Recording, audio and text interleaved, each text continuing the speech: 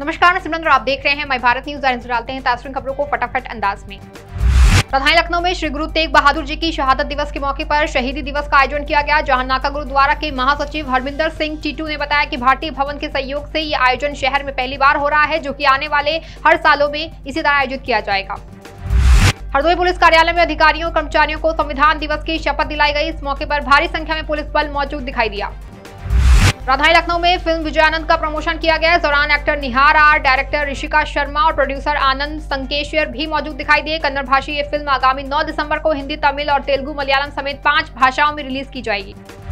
फिरोजाबाद के जसरान ब्लॉक में ration dealer का चुनाव आठवीं बार स्थगित होने से ग्रामीणों में भारी आक्रोश देखा गया, जहाँ ग्राम प्रधान अनिल कुमार श्रीवास्तव और सचिव सुनील पर आरोप लगाते हुए ग्रामीणों ने जमकर नारेबाजी की।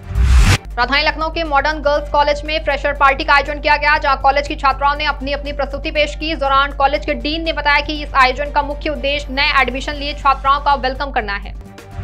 हरिद्वार जिला प्रशासन अवैध अतिक्रमण को लेकर काफ़ी सख्त दिखाई दे रहा है। अवैध अतिक्रमण को हटाने के लिए जिलाधिकारी विनय शंकर पांडे ने उत्तरी हरिद्वार में निरीक्षण किया। आपको बता दें कि यहाँ अवैध अतिक्रमण सबसे ज़्यादा समस्या है।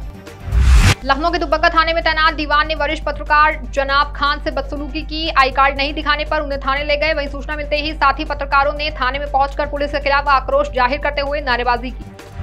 बलरामपुर में बीती शाम अज्ञात कारणों के चलते गाँव में आग लग गई। जब तक आग पर काबू पाया जाता, उससे पहले झोपड़ियाँ जलकर राख हो गई थी। वही इस मामले में जाँच कर सहायता दिलाए जाने की बात कही गई।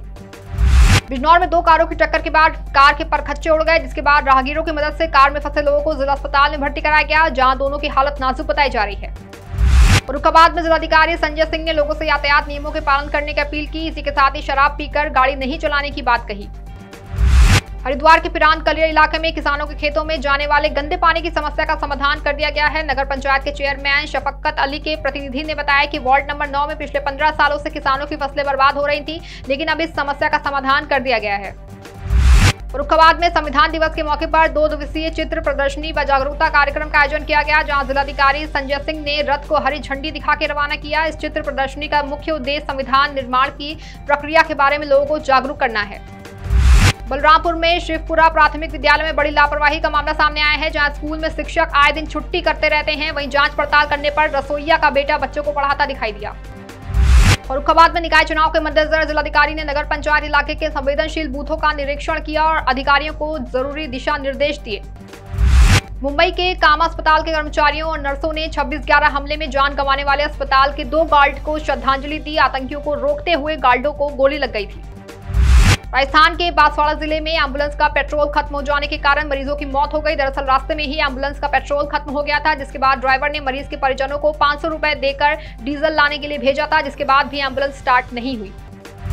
दिल्ली के तिहाड़ जेल में बंद आम आदमी पार्टी के मंत्री सत्येंद्र जैन का नया वीडियो सामने आया है। इस वीडियो में वो निलंबित जेल सुपरिटेंडेंट अजीत कुमार के साथ नज़र आ रहे हैं। ये वही अजीत कुमार हैं जिन पर ईडी ने आरोप लगाया था कि वो जेल में सत्येंद्र जैन को सुविधाएँ देते हैं। इस पर कार्रवाई करते हुए उन्हें हटा दिया गया था। दिल्ली में एमसीडी चुनाव के लिए केंद्रीय मंत्री अनुराग ठाकुर ने शास्त्री नगर इलाके में प्रचार किया, जहाँ उन्होंने बीजेपी की जीत का दावा किया, साथ ही केजरीवाल को भ्रष्टाचारी बताया। सुनील शेट्टी ने हाल ही में धारावी बैंक वेब सीरीज़ से अपना डिजिटल डेब्यू किया है। सीरीज़ में सुनील शेट्टी धारावी की डॉन थलाइवा के किरदार में नज़र आ रहे हैं। सीरीज़ में सुनील ने 60 साल के डॉन का रोल अदा किया है, जहाँ वो काफ़ी फिट नज़र आ रहे हैं। ऑस्ट्रेलिया के महान गेंदबाज ग्लेन मैग्रा ने हाल ही में एक बड़ा बयान दिया है। उनका मानना है कि सलामी बल्लेबाज डेविड वार्नर को आने वाले समय में ऑस्ट्रेलियाई टीम की कप्तानी करने का मौका मिलना चाहिए। डेविड पर 2018 में गेंद के साथ छेड़छाड़ मामले के बाद कप्तानी के लिए आजीवन प्रतिबंध लगा दिया गया था।